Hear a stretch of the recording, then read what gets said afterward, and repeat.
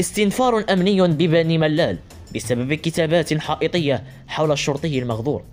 فتحت المصالح الأمنية ببني ملال تحقيقا في ظروف وملابسات كتابات حائطية حول الشرطي هشام والذي تم غدره بمدينة الدار البيضاء. وكشفت المصادر أن عناصر الأمن ببني ملال والسلطات المحلية حلت بمحكمة الاستئناف حيث أقدم شخص على الكتابة بحائطها كتابات من قبيل العدالة لهشام وكلنا هشام. وفتحت المصلحة الولائية للشرطة القضائية بمدينة الدار البيضاء بحثا قضائيا تحت إشراف النيابة العامة المختصة وذلك لتحديد ظروف وملابسات غدر الشرطي